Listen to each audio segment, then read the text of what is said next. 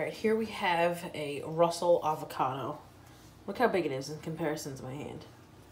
I don't even think I can, I can't even fit the whole thing in. It's bigger than two hands.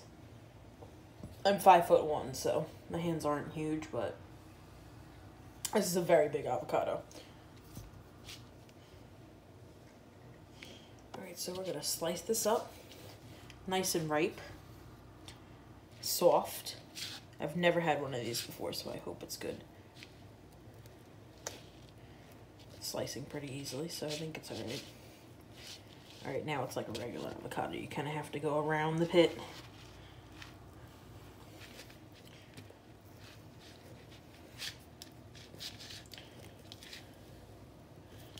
And I think that's it. Okay, here's the big reveal.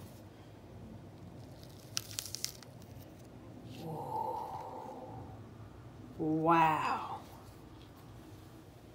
Look at that. That is crisp. No bruising. Oh my gosh. Just peeling the skin out of here.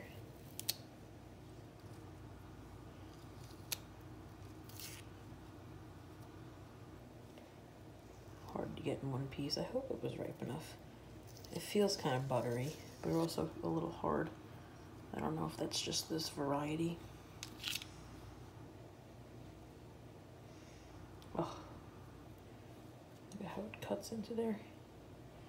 I'm not expecting this to be too fatty, maybe like a Florida avocado.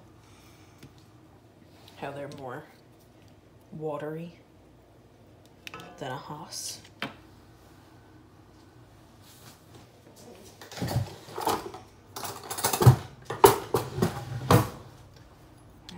In for the taste test.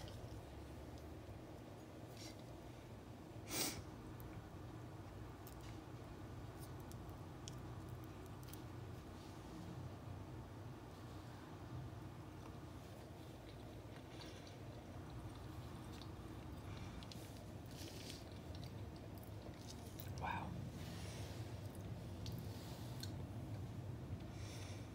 Another taste.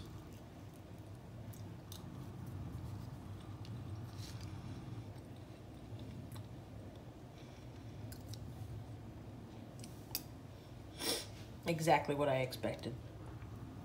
Exactly what I expected. Not fatty. Um, more complex than a Florida avocado, though.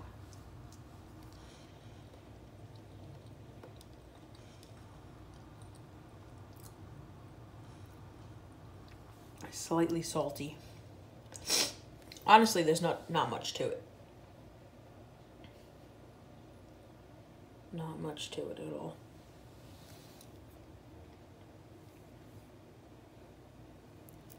trying to imagine how this would be in a salad or something. I don't think this is good to eat just alone.